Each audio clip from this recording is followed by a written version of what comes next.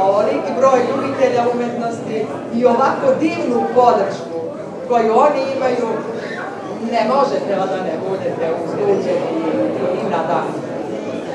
61 polaznik je učestvovao na ovoj izložbi sa preko 300 radova, zapravo 314. I ove godine smo uspjeli da napunimo ove sale. Malo je atipična izložba, ranije smo izlagali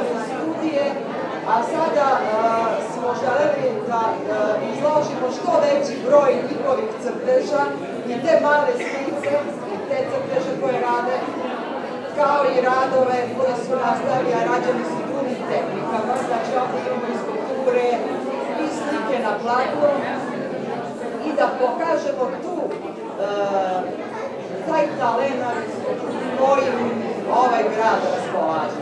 Ne znam koliko je sve za grad sad. Kakvu djecu imamo, a imamo divne mlade ljudi, na koje trebamo da budemo ponosni.